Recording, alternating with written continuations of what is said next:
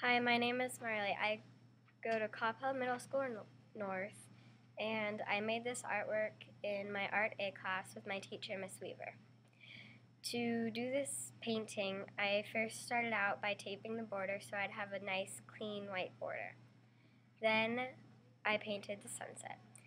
I first wet the entire page with water and used my brush to paint yellow watercolor paint on the first portion of the paper.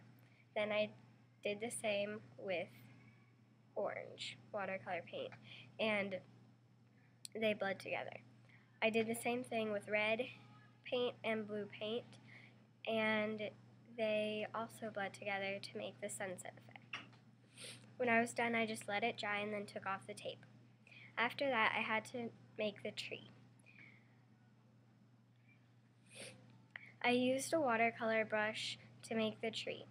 I started at the trunk and went up to the top so that it would get build the trunk as I went up. the branches got smaller and smaller as I went up, and I made sure to curve them and overlap them, and then I started to branch off the main branches so it would make the effect of a tree. When I was done with that, I let it dry again, and then I was done, and I had my sunset tree.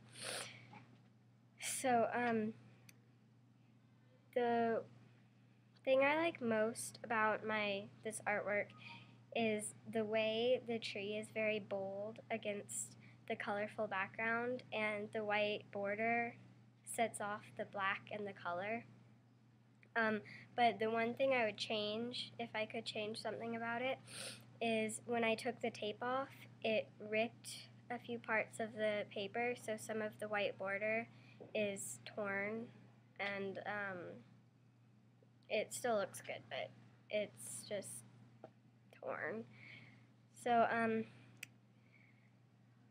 the thing I like most about art, why art is important to me, is because it lets me create whatever I want. I don't have to write an essay about this or this. I can do whatever I want instead of having limits on what I can make.